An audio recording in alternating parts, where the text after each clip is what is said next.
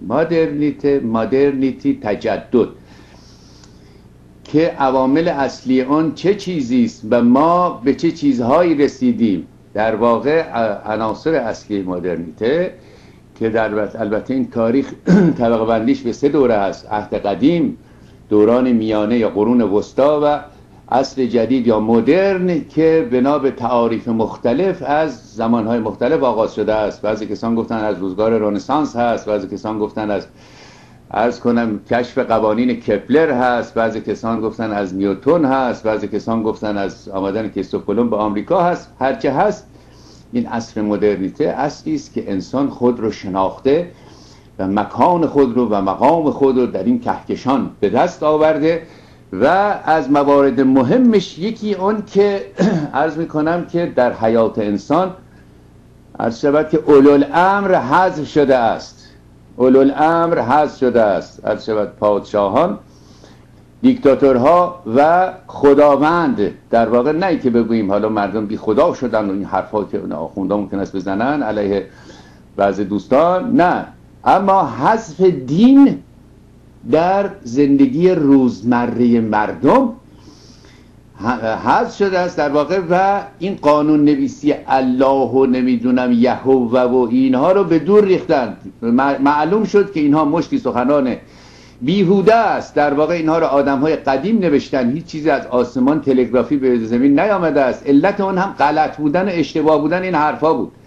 مهمترین دروغی که کش شد همین داستان از کنم که منظومه شمسی بود که این بزرگترین در واقع جلوه مادی جهان هستی در نظر آدمیان بود. چون ما در این منظومه زندگی می‌کنیم و همه این کتاب های خدا نوشته بودن در اون که زمین مرکز موجودات هست و خورشید دورش گردش می‌کنه. به وضوح در انجیل و تورات و قرآن و همه اینا اینا رو نوشته بودن. وقتی این کش شد که این دروغ هست و اشتباه هست فهمیده اینا رو خدا ننوشته. و اونهایی که اینها رو نوشتن اینها توهین کردن به خدا در واقع. فراموش نکنیم خدا پرستی بعض کسان اهانت هست به خدا چون آدم ها خدا رو به اندازه عقلشون می‌فهمن. یعنی آدمی که ایستاده بود در مدینه فرض 1400 سال پیش کار می‌کرد این زمین خیلی جای بزرگی است. و حس کنم که هیچ پنج تا ستاره در آسمان هست و بقیه مثل یک ذرات روشن هستن. خداش همین قد بود. خب به اندازه عقلش می‌فهمید. خداش خیلی کوچک بود. و همین دلیل هم هست که به او جنایت نسبت می‌دهند. و از زبان او تشویق جنایت می‌کنن به جهت اینکه خداشون بسیار حقیر و کوچک بود. خداشناسیشون هم حقیر بود. اعمالشون هم حقیر بود. و هرچه انسان پیش آمد عرض شود که با کشف های جدید کسانی که معتقد به خدا هستند در خدا بسی بزرگتر از آن است که در این کتاب ها آمده است. یعنی از سرشت انسان و از طبیعت انسان این همه کشف های پزشکی ارز کنم که ذهنیت ها رو گسترش داد. باری این داستان حذف شد در, در حیات انسان قانون نویسی خدا حذف شد. در واقع ما ایرانیان بیچاره گرفتار که نه تنها ما گرفتاریم کوههای ما زمینهای ما دریاچه های ما گرفتار هستن. گوزنا و مرغا و گنجشکا و اردکا گرفتار هستن گرفتار آخونده هستن. و ظلم این حکومت نه تنها به آدمیان رسید بلکه کبکها رو هم برانداخت. گوزنها و گورخرهای ایران رو هم برانداختند که اینها مثل تاول بودن در طول تاریخ. ما اسیر هستیم ما گرفتار همین قانون نویسی خدا است انسان جدید و مدرن این چیزها رو قبول نمی‌کنه. این مطالب رو به عنوان زینتی بر شخصیت او و از می‌کنم این راجع است به امور معنوی و مطالب فردی و شخصی. اینها مطالبی نیست که ما بیایم قانون نویسی کنیم و در سطح کشور جاری کنیم. 1500 سال پیش نفر این رو گفته است. جهان روز به روز نو می شود بیزارم از اون کهن خدایی که تو داری. هر لحظه مرا تازه خدایی دگر استی این سرشت انسان نگاه به جلو دارد. بزرگترین وجه انسان اندیشه انسان هست. دست و پا و گوش و اینها که استخوان و ریشه است. و این عقل عقل انسان اون چیزی که بین دو گوش انسان هست در این کاسه سر این بزرگترین و شگفتترین پدیده است که خداوند خلق کرده و در سر هر انسانی به طور مساوی گذاشته برای راهیابی و کشف و نگاه به آینده و پیدا کردن خدا.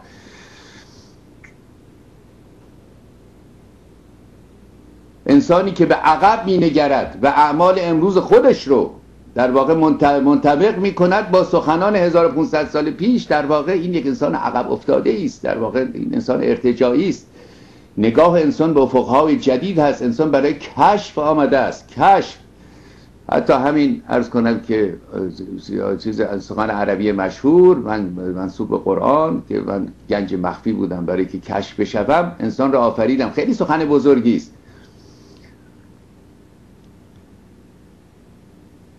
کنتو کنز مخفی که البته کستوی آمد از قول کسی ایراد گرفت و مخفی غلطه در عربی ما مخفی نداریم که. کنتو کنز خفی.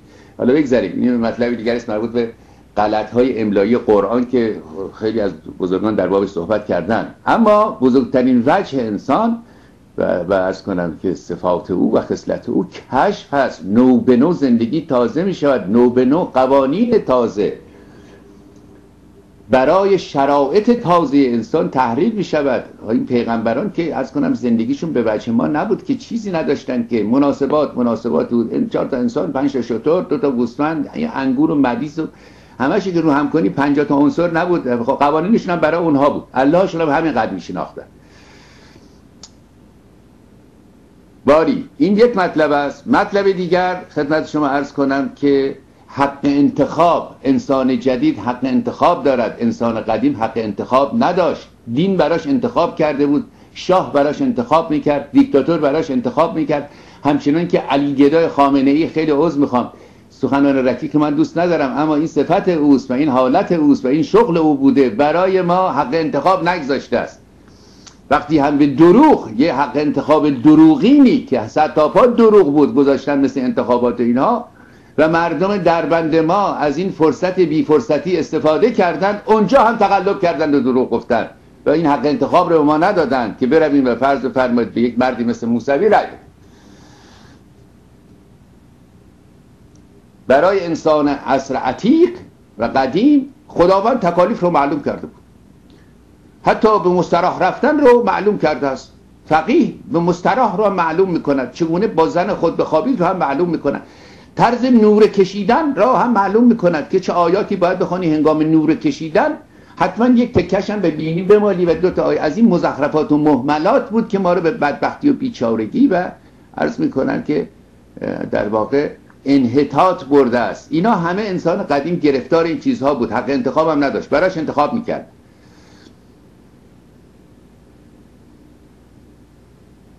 پس حق انتخاب از می شود. و مطلب مهم دیگری که حاصل تجدد بوده موضوع دولت و موضوع مردم که دولت چیزی جز یک قرارداد نیست. آقا مثل فروش مثل خرید یک منزل مثل نمی‌دانم که خرید یک باغ یک قرارداد بود. متن قرارداد قرارداد اجتماعی است که مردم می نشینند مطابق یک قرارداد social contract یک قرارداد اجتماعی می نویسند و یه دولتی می‌گذارن که مملکت اداره بشه دولت از برای مردم از میان مردم در خدمت مردم. دولت با چماق بر سر مردم قاتل مردم دزد جیبهای مردم برباده شرف مردم و متجاوز به حقوق مردم این دولت نیست این تعریف دولت نیست. اینا یک مش دزد دروغگوی جنایتکار هستن. از تبار مدینه هر سبت که اهل مدینه آمدن کشور ما رو به غنیمت گرفتن. دوستان گرامی وقتی هم حرف بزنیم می‌برن و به اسافل الاعضا هم کار دارن. این منتهای پستی و رزالت اینها رو نشان میدن. چون انسان بزرگوار انسان محترم با دشمنش هم با احترام رفتار انسان که نمی‌تواند یک لحظه محترم باشد یک لحظه محترم نباشد. یک لحظه بخشنده باشد یک لحظه نه. انسان محترم همواره محترم هست بزرگوار است. انسان بزرگوار با دشمنش هم بزرگواری می‌کنه. اینها فرومایگان هستند فرومایگان بودند. عمر مختاری بود در شمال آفریقا علیه ایتالیایی ها اینا فیلمش هم دیدین در فیلمش من دیدم. این عمر مختار رو دستگیر کردن. کشته بود بسیار کشته بود جنگ کرده بود اینها وقتی گرفتن آوردنش اون افسره که تحویل می‌داد به اون افسر زیر دستش گفت treat this gallant enemy with respect. گفت این دشمن مغرور و سربلند رو با احترام باش رفتار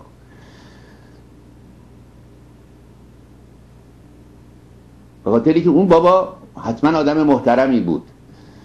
آخوند می‌گوید شما می‌گویید که ما رأی شما رو چه کردیم ما باتون به ما تحت شما فرو می‌کنیم. خیلی من معذرت بخوام این حد این هاست این حد این هاست عذر می‌خوام از شما. این آقای سروش هم همین رو نوشته. حجت الاسلام نمایندگان الله با ما تحت مردم کار دارن.